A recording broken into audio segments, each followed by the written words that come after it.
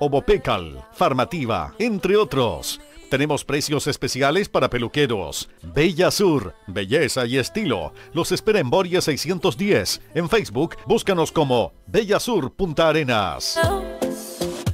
El 2018, Provida Mujer dio el primer paso apoyando con becas a mujeres de todo Chile que inspiraron con su historia. Yo me sumé, postulé y fui seleccionada para hacer un diplomado.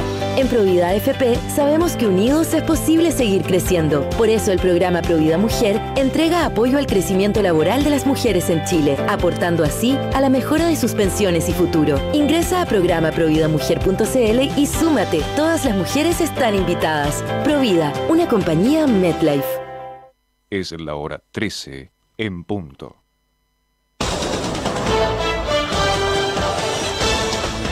Pingüino Radio, a través de sus señales 95.3 FM, 590 en amplitud modulada, canal 30 y 33 de la señal por cable, canal 42, señal claro, canal 4, señal abierta y www.elpingüino.com Noticias en Pingüino Radio. Comienza el informativo más completo de la Patagonia para que usted esté bien informado. Periodistas, móviles y reporteros trabajan incansablemente las 24 horas del día buscando la noticia, veraz y oportunamente.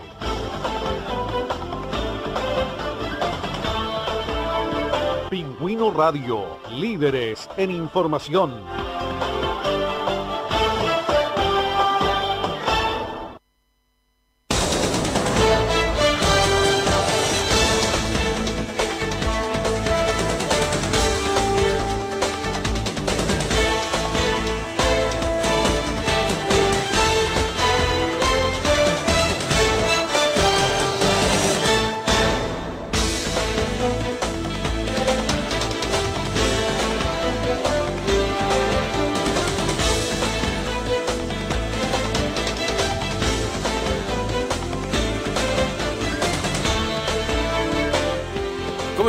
Muy buenas tardes. Les saludamos desde los micrófonos de Pingüino Radio en esta segunda edición informativa de este día martes 14 de mayo. Hoy día saludando a Matías. ¿ah? Felicidades. Vamos a contarle de todo lo que ha acontecido durante esta jornada. Hemos tenido varias informaciones que han reportado nuestros colegas y que las traemos para ustedes en este, en este horario, para que así usted se informe de todo, ¿no? Vamos al tiempo también a esta hora 9 grados, con una humedad que llega al 71%. El viento es noroeste, 26 kilómetros a la hora. La visibilidad en el aeropuerto Carlos Ibáñez es buena y hay pocas nubes en los cielos magallánicos a esta hora. Estamos a la temperatura casi máxima, máxima 11 para el día de hoy, así que ahí está el dato, viento ya hasta 50, no como el día de ayer que tuvimos 120. Comenzamos a las 13 con 2 minutos. Estos son los titulares. Se está realizando una sesión extraordinaria del Consejo Municipal de Punta Arenas donde se trató la huelga de los recolectores de rocíos domiciliarios. Carabineros durante la madrugada logró la detención de dos sujetos por porte de cocaína y marihuana en el sector norte de Punta Arenas tras evadir control policial. Se inició la celebración de la Semana de la Educación Artística donde agrupaciones de diferentes establecimientos educacionales realizan intervenciones artísticas que está dirigida a niños y jóvenes de edad escolar.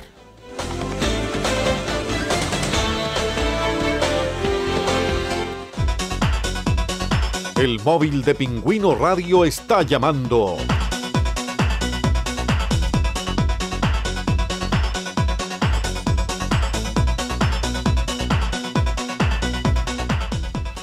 Muy bien, ya son las 13 con 3 minutos, comenzamos con las informaciones. Carabineros durante la madrugada logró la detención de dos sujetos por el porte de cocaína y marihuana. Esto fue en el sector norte de Punta Arenas. Intentaron evadir el control policial y ahí fueron aprehendidos por carabineros. Luis García nos trae el informe. Buenas tardes. ¿Cómo está Jorge? Muy buenas tardes. Efectivamente, un procedimiento realizó Carabineros de Chile durante esta madrugada en Punta Arenas y que tiene relación a combatir el microtráfico. De acuerdo a los antecedentes que se han entregado hasta ahora, son dos los ciudadanos colombianos que fueron detenidos luego de ser sorprendidos eh, con marihuana y cocaína además de elementos que son ocupados para la dosificación de la droga, en este caso una pesa digital. Eh, al momento de eh, carabineros intentar fiscalizarlos, ven como los sujetos por uno de los vidrios de la camioneta en la que transitaban se despojan de algunos elementos, situación que llamó la atención de carabineros solicitando apoyo a más unidades, quienes pudieron encontrar los elementos los cuales ellos se estaban deshaciendo, en este caso que era la droga, la cocaína y la marihuana.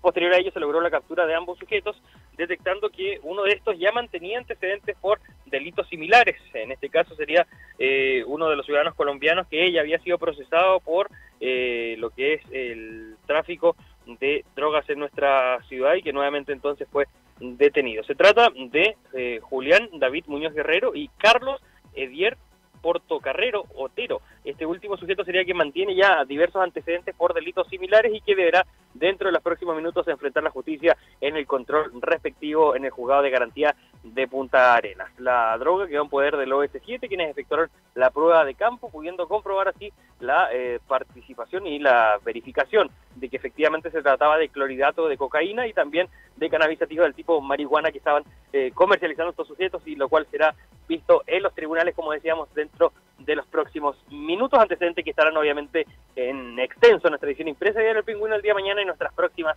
ediciones informativas. Jorge, buenas tardes. Chao, hasta luego. Que esté muy bien, Luis. Nos vemos. Ahí estamos en contacto con Luis García a esta hora de la tarde, entregándonos antecedentes respecto de la información que entregaba por esta detención de estos ciudadanos colombianos durante la madrugada. Se dieron a la fuga cuando fueron controlados. ¿ah? Al menos eso ahora van a pasar a, tribunales como corresponde ahí, estos ciudadanos colombianos, esto levantó una polémica en la mañana también aquí en nuestros llamados. Ya son las 13 horas con 6 minutos. Continuamos con las informaciones aquí en Pingüino Radio. En este día martes.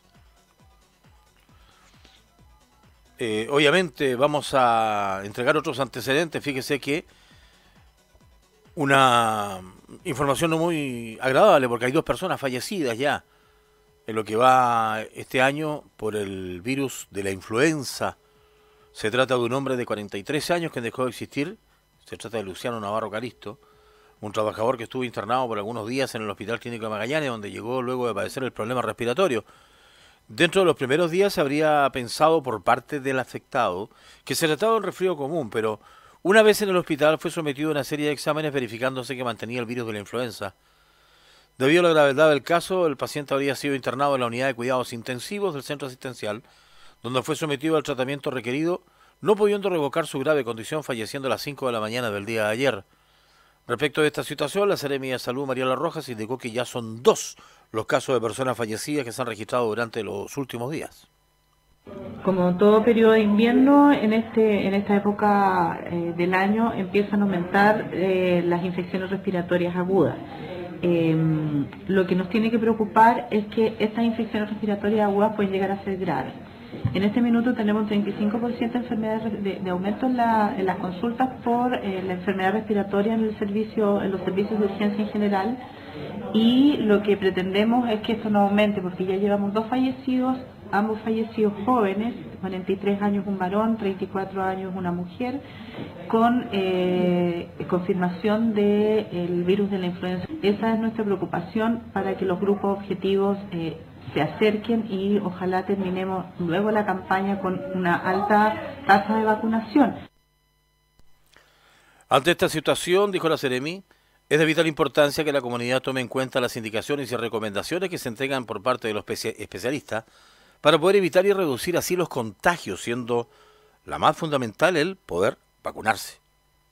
Entonces, haciendo el llamado a la, a, la comunidad a que eh, tomen, aparte de vacunarse, tomen las medidas necesarias para no contagiar.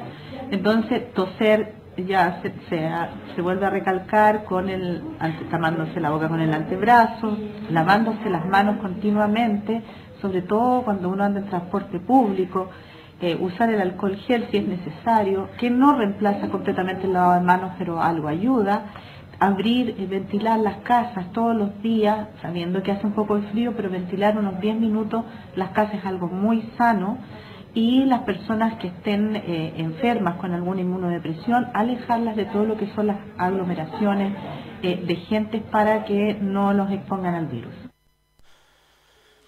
En Chile ya van decenas de casos de personas fallecidas por este virus, a lo que Magallanes no ha quedado ajeno, considerando que el año pasado en una sola semana a esta fecha se registraban tres fallecidos.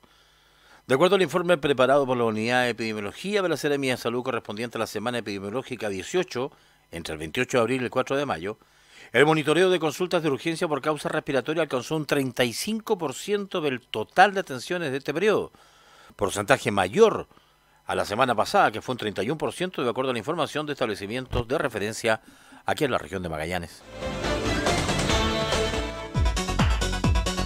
El móvil de Pingüino Radio está llamando.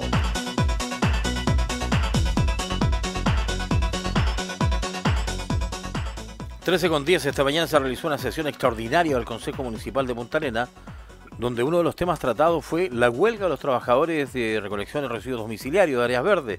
David Pérez estuvo allí. ¿Cómo está David?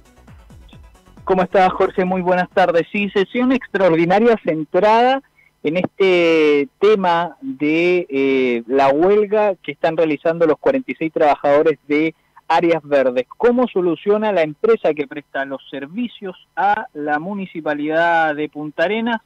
Fue el tema a tratar, cómo está entregando el servicio. Desde el día lunes ya se recibía eh, por parte del informe de la oficina de la Dirección de Fiscalización y Contratos de Áreas Verdes, eh, perdón, de Aseo y Ornato, se han cursado ocho multas por parte eh, del, del, Departamento Municipal en uno de los contratos que vale, que hay que recordar que es el más caro y que presta mayores utilidades con 178 millones al mes que cancela la municipalidad eh, por eh, la prestación de servicios de áreas verdes y 2 mil millones al año lo que paga el municipio por este servicio.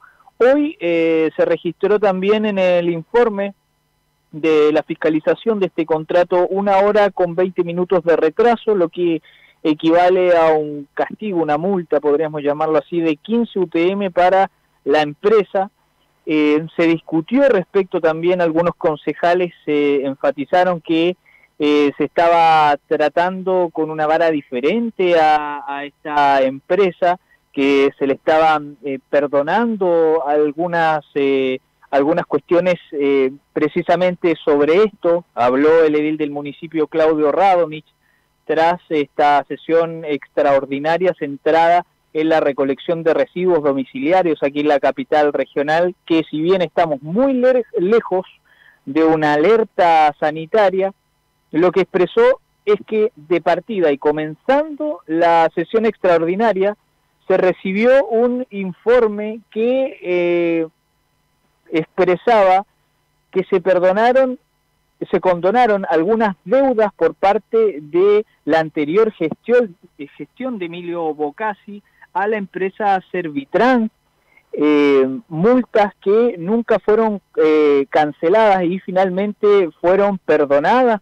eh, por la antigua gestión municipal, cosa que hizo, salió a mencionar el edil del municipio y lo contó y discutió también al respecto sobre esto y manifestó y enfatizó que en esta gestión en su gestión, en su mandato eh, en el Palacio Municipal, no se perdonará ninguna deuda, ningún castigo que eh, retrase este servicio ah, y el levantamiento de, ninguna otra prestación por parte de ningún privado ah, hacia el municipio. Pasemos a escuchar la palabra del alcalde de Punta Arenas. Pero aquí no hay mano ni dura ni mano blanda, hay mano justa, hay un contrato que se puede fiscalizar en Contraloría, en los tribunales, y ahora se está en una huelga que esperamos que termine pronto. Pero yo también tengo que, tengo que responder justamente por un servicio que es fundamental para la ciudad, pero también responder a este contrato que ha sido fiscalizado.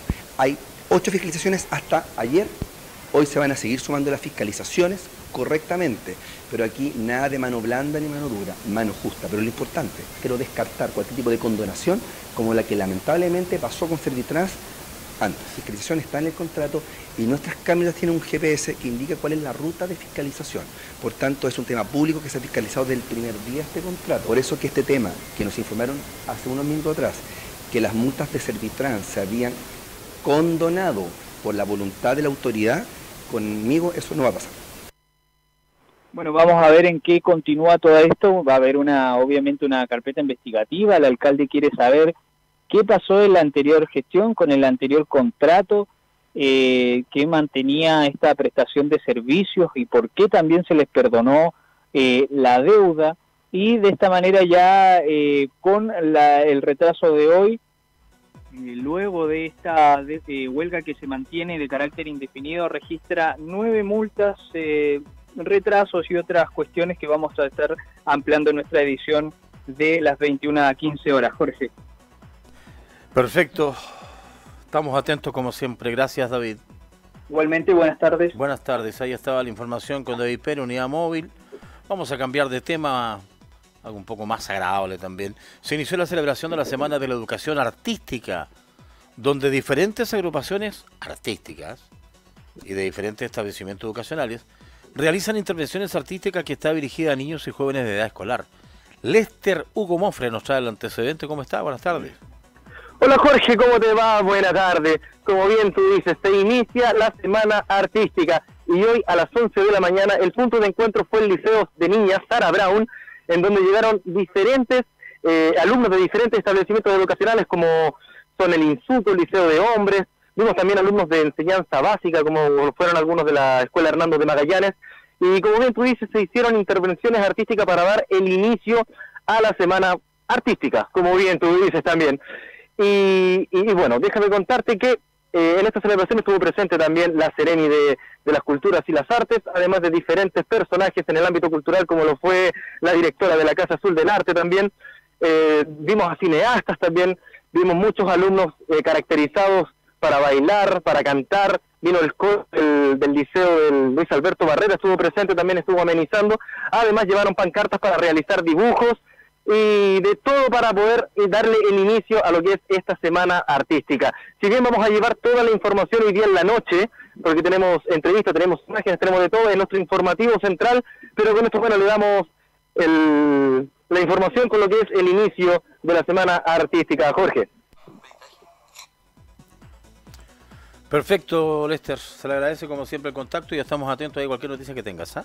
Oye, solamente Jorge, déjame recordarte que esta celebración está desde el año 2013 dirigida a niños y niñas jóvenes de la edad escolar eh, o en la etapa de enseñanza de desarrollo y es por la UNESCO, ¿ah? Sí, había que decir eso, que desde el año 2013 que se está haciendo esta, estas intervenciones artísticas para la Semana Cultural. Me parece pues que te vaya bien, Lester. Muy agradecido, buena tarde. Chao, hasta luego. Ahí estábamos con la información del Esther Mofre respecto de esta actividad para los estudiantes, ¿ah? actividad artística para los estudiantes. Ya son las 13 horas con 17 minutos. Continuamos con ustedes acá en Pecuno Radio. Nos vamos a tribunales. Alex Miralles siempre tiene antecedentes de algo. Alex, buenas tardes. Hola Jorge, buenas tardes. Sí, porque ya en recta final se encuentra este segundo juicio en contra de estos dos, eh, dos ex carabineros, eh, Pedro Loncuante Loncuante y Miguel Delgado Velázquez, como el civil Sebastián Cáceres Alonso, por la muerte del joven Gonzalo Muñoz del Campo. Hay que señalar que durante esta jornada la Fiscalía presentó una prueba nueva que no había presentado en el primer juicio, que es eh, la autopsia del joven eh, que falleció producto de esta eh, pelea, esta agresión que sufrió eh, y en esas circunstancias el mismo fiscal jefe de Puerto Natales indicó de que esta situación habría sido obviamente la agresión y los golpes que fueron provocados en esta pelea que le provocaron y le causaron la muerte posteriormente, diez meses después de haber estado internado en el Hospital Clínico de Magallanes. Escuchemos las palabras del fiscal jefe de Puerto Natales, Cristian Muñoz, en relación a esta prueba nueva que presentaron durante esta penúltima jornada ya de este juicio eh, que se desarrolla aquí en el Tribunal Oral en lo Penal de Punta Arenas. En rigor más de una que corresponde también a otros elementos importantes como son el certificado de función, donde está indicado que el que Gonzalo Muñoz del Campo muere, por un traumatismo provocado por agresión de terceras personas. Eh, Luego eh, está también las fotografías que podemos incorporar del informe de autopsia y, el testimonio de la perito, que en este caso la doctora Paola Millán, quien detalló paso a paso eh, desde el ingreso de Gonzalo en el hospital hasta que finalmente fallece prácticamente casi un año después producto de estas lesiones. Ahí están las palabras entonces del fiscal eh, jefe de Puerto Natales, Cristian Muñoz, en relación a esta prueba nueva.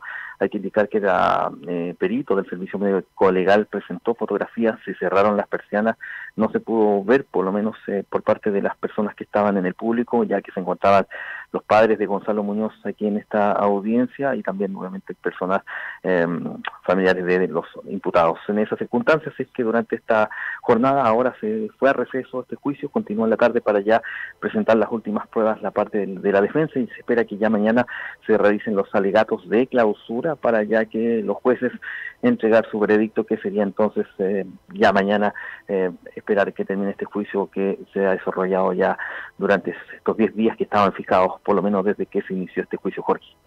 Alen Miralles, gracias y estamos atentos como siempre. Buenas tardes. Buenas tardes, ahí estaba la información con todos nuestros colegas que entregaban antecedentes de diferentes noticias también. Transmite Pingüino Multimedia Nuestros auditores hacen noticia. Comenzamos el ejercicio habitual. Mire, señor, quiero hacerle una denuncia. ¿Sabe que la línea 8 va a la 8 y no, y no pasaba nunca? Con respecto a la, a la medida que tomó el alcalde, digamos, de remover a la gente que está en la plaza, es bueno, es un tema que lo hemos hablado a través del tiempo. Por eso hago la denuncia, que muy amablemente me dijeron de que podía llamar aquí a Pingüino. Comunícate al 2 29 29 10 agradecerle que den la posibilidad de que la gente pueda opinar. Sabe que yo quiero dar un agradecimiento. Indignado totalmente por la decisión de despedir a estos personajes. La pelea de los perros, que por favor los retiren, hagan algo. El problema que hay acá es que se concesiona un terreno, si no y no debería estar por qué concesionado a una persona. Pero yo creo que es hora, digamos, que las, eh, las resoluciones se, se hagan valer. Pingüino Radio, la radio informativa.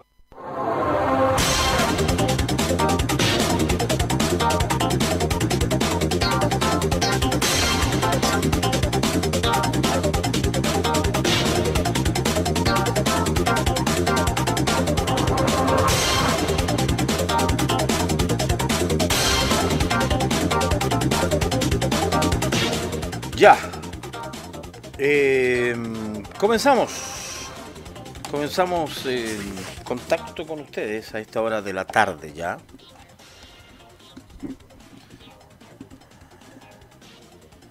Con algunos WhatsApp que nos llegan de nuestros auditores televidentes. Que me devuelva mi licencia y carnet, quien lo tenga, se gratificará a nombre de Luciano Armando Saldivia Luciano Armando Saldivia, extravió su documento, ah, mira. Bueno, ojalá que alguien lo haya encontrado, pero ahí se los devuelva, porque necesita urgente su licencia y, y también su carnet de identidad. Si uno está resfriado con virus inicial, ¿se puede vacunar igual o no? A ver, lo que yo entiendo es que la persona se puede vacunar siempre y cuando no tenga fiebre.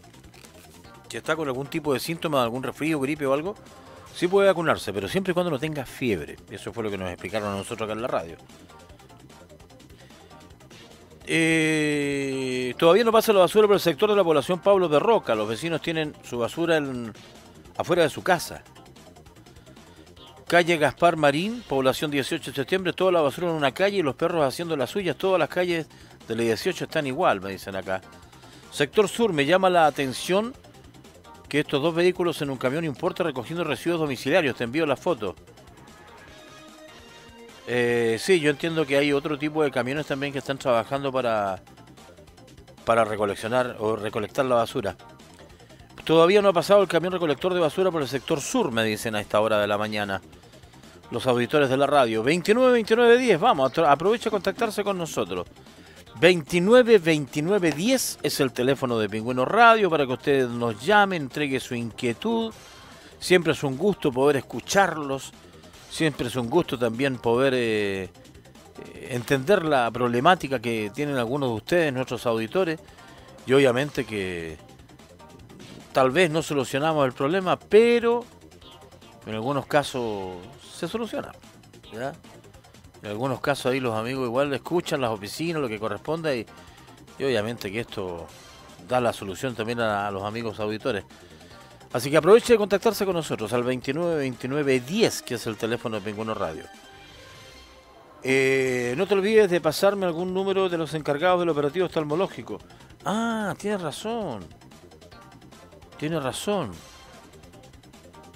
Eh, claro, el otro día estaba esperando que después de las 9 me escribiera, ahora no lo tengo a mano, lamentablemente.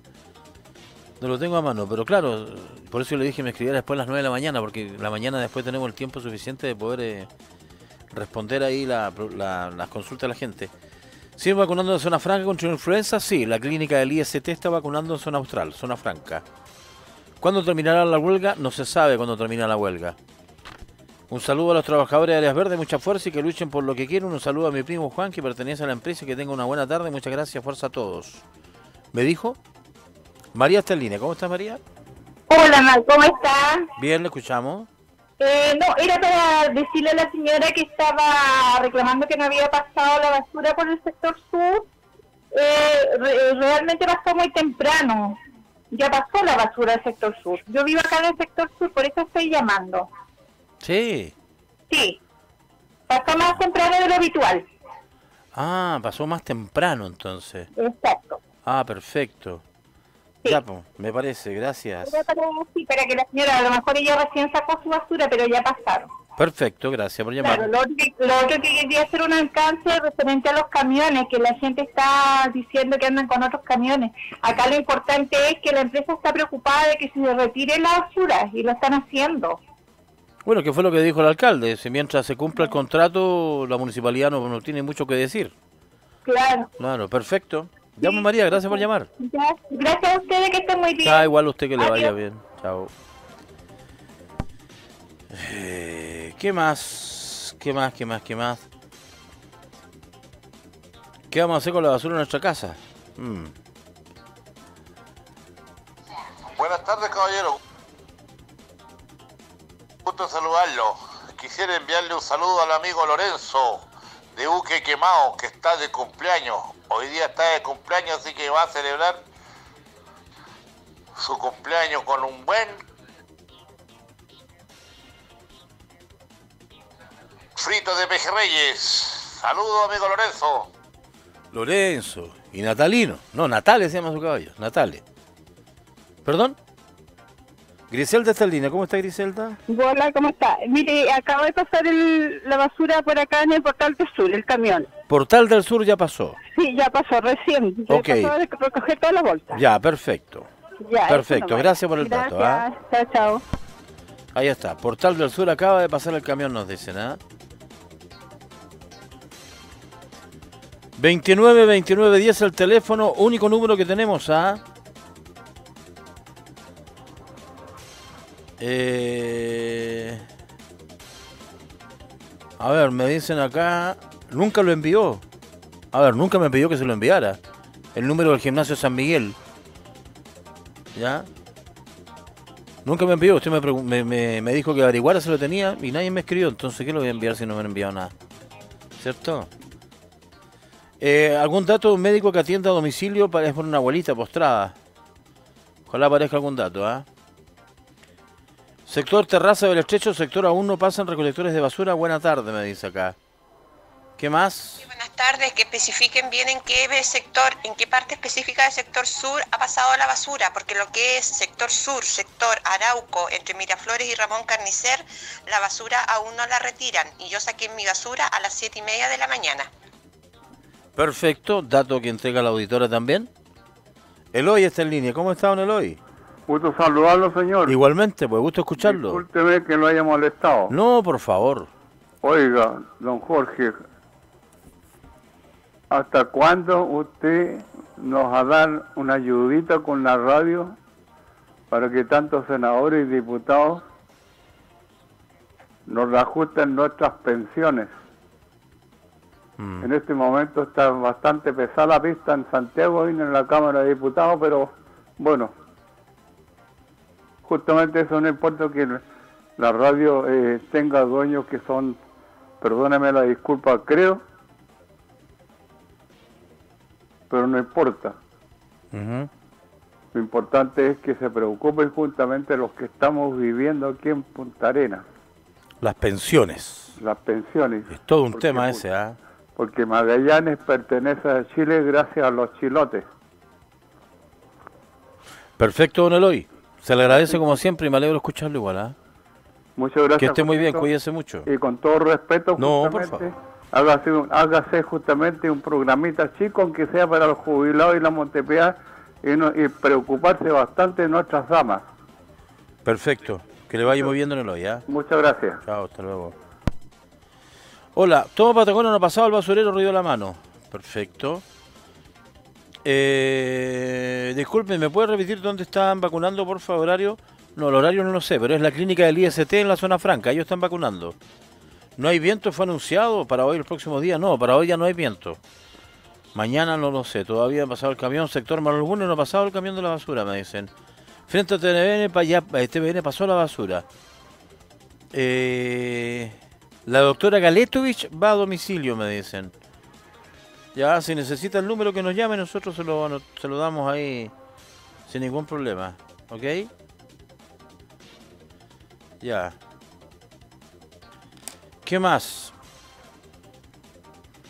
Todavía no pasa el camión de la basura, Palacio, población Pablo de Roca. Población Calixto, no ha pasado el camión. ¿Qué más?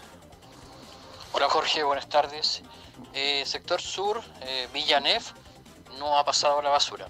Eh, esta fue dejada a las 7 y media de la mañana y hasta ahora no ha pasado. Sector sur, Villanef. Perfecto, gracias por el dato. Villa Anef. ¿Qué más?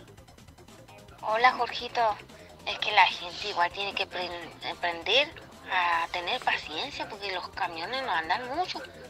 Igual hay que tener respeto por la gente que está pidiendo su, su sueldo digno, esto como todo. Y aparte que igual, ¿para qué lo sacan si, si cuando vean que el camión pasa, ahí sacan su basura, no afuera? No tienen paciencia que la gente, qué cosa. Las opiniones también, ¿ah? Adriana está en línea. ¿Cómo está Adriana? Hola, buenas tardes. Buenas tardes, la ¿Cómo escuchamos. está, caballero? Bien. Eh, acá por la Cali Valle ya pasó la basura. Pasó Ya. muy temprano, como a las 8 de la mañana, ya está todo limpio, no hay nada. Ya. Así que es un buen trabajo, solo que la gente a veces no reconoce. Carlos Ah. Ibáñez, perfecto. Sí, saludos, pues, bien, gracias. Ya. Hola, buenas tardes. La población Neruda tampoco ha pasado el camión de la basura. Perfecto. Eh, doctora Yanina Rojas, Roja, que va a domicilio, me dicen. Otro número de otra doctora, ¿ves? Estoy anotando los números de las doctoras también. Por si alguien los necesita, que nos whatsapp y se los envío, no hay problema. ¿Qué más? Por el gimnasio que consulta, eh, por el gimnasio que consulta en la parroquia. Ah, la parroquia tiene que ir ahí en calle Boliviana. Listo, ahí está la respuesta. El camión recién estaba por Prat con Pedro Aguirre Cerda. Perfecto. Eh, dice, hola, quisiera saber él o la dueña de este sitio. Ayer eh, vi un cartel que decía que se vendía, pero no sé si estará disponible. Esto queda ubicado en calle Arauco, al lado de la sede del Barrio Sur. Si alguien sabe. La doctora Galetovich, perfecto. Vacunación zona franca de 10 a 14 y de 15.30 a 10 a 18 horas. De 10 a 14 y de 15.30 a 18 horas. El loteo del mar ya pasó la basura. Zona franca de 15 a 19.30 inyectan, me dicen acá. Don Jorge, por sector Playa Norte tampoco ha pasado la, la basura. Ah, no, pero eso le corresponde mañana al sector norte. Sector norte le corresponde mañana, le corresponde lunes, miércoles y viernes el norte, martes, jueves y sábado el sector sur. Entonces estamos hablando hoy día del sector sur. Envíeme el número la doctora, gracias. Le voy a enviar los dos números que tengo acá de la doctora, ¿ok? Listo, se fue ahí los dos números de la doctora. Para que puedan ahí atender a su a su adulto mayor. Hola, saber, ¿hay corte de luz aquí en la población Claudio Busto? No tenemos antecedentes nosotros. Deberían echar a los basureros que están en paro y a mantenerse con los que están total cumplen de demora, pero cumplen en forma, de una forma de ahorrar. Parece que la señora no trabaja, que anda pendiente cuando se pasa el camión de la basura, cuec, dice nada que se parece. Quiero saber que se pasó la basura por el río La Mano. Me habían dicho recién que no, que no había pasado por el sector río La Mano. El camión recolector de pasó en el pasaje Enrique Villa a las 7.35. Ah, mira, tempranito, vos. ¿ya? Necesito encontrar un lugar temporal y definitivo para dos cachorros que se encuentran abandonados en el parque Chabunco. Además de denunciar de las malas prácticas de la gente de dejar el abandono de estos animalitos, me comprometo a ir a buscarlos y entregarlos con comida para el hogar temporal. ¿Ya? Y son cachorritos, nomás son pequeños.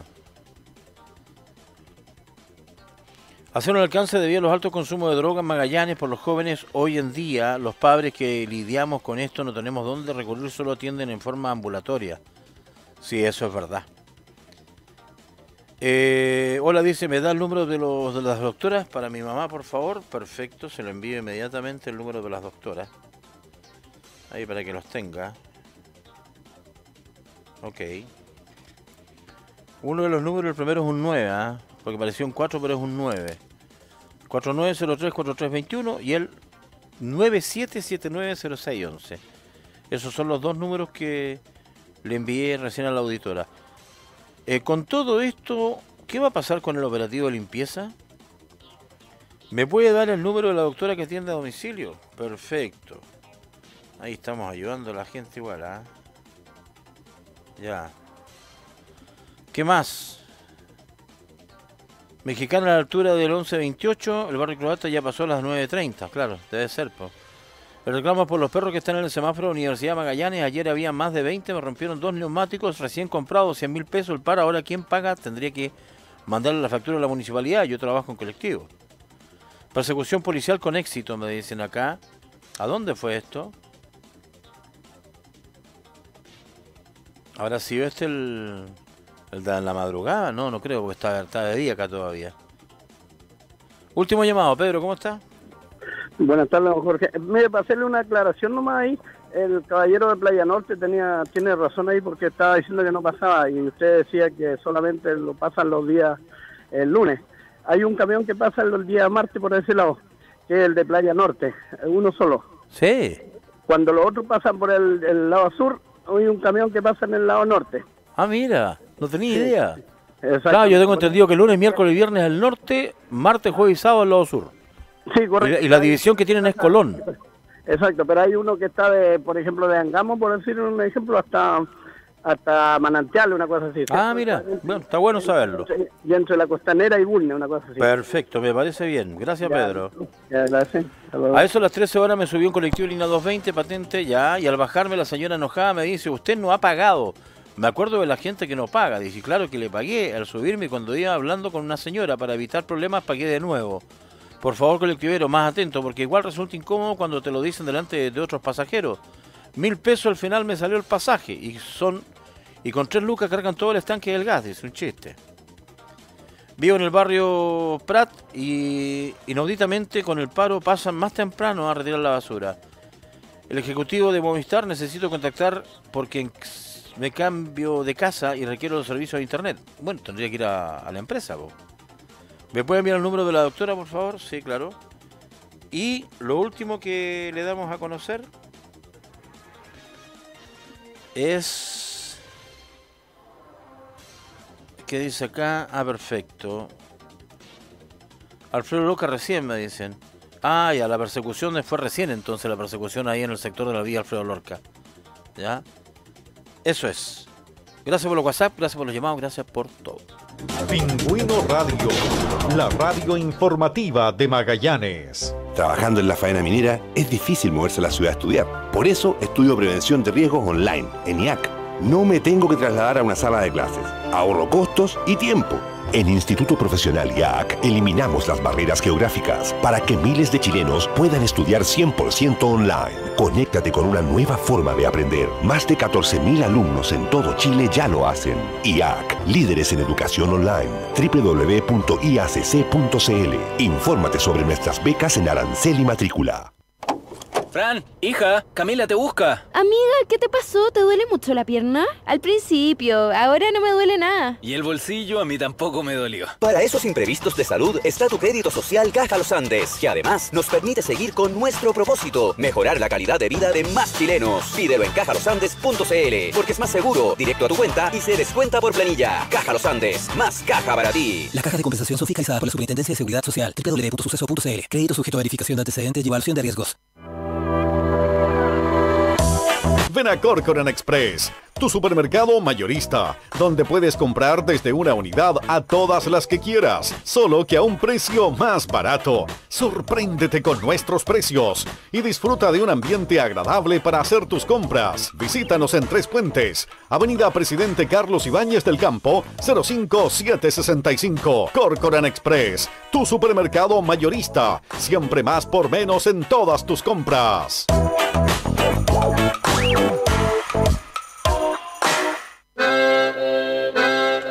Carnes Pampa Grande tiene para ustedes los mejores cortes regionales en vacuno fresco, categoría B, asado de tira, punta paleta, osobuco, aletilla, cazuela, huesos con carne, carne molida, carne molida congelada, esto y mucho más. También tenemos abarrotes, cecinas, leña, carbón, bebidas. Vendemos carne de vacuno criado 100% a pasto. Avenida España 0480, esquina Piloto Pardo, fono 61 232 4258. Contamos con estacionamiento propio. Recuerde, Carnes Pampa Grande, en el sector norte de la ciudad. Estas son respuestas reales de alumnos Santo Tomás que ingresaron con matrícula costo cero. Cuando me matriculé en Santo Tomás, eh, mi matrícula fue costo cero por ser de primer año. Es muy sencillo. La verdad es que no es, no es algo a lo que uno tenga que postular, sino que es algo que existe. No pagar la matrícula significa apoyo, significa contención, significa un alivio. Entra a tupuedes.cl y habla con alumnos reales de Santo Tomás. Habla conmigo. Habla conmigo. Habla conmigo. Consulta por las carreras con matrícula costo cero. Solo alumnos nuevos. Admisión 2019. Desde el 22 al 27 de diciembre. Santo Tomás, tú puedes. Estos son los titulares.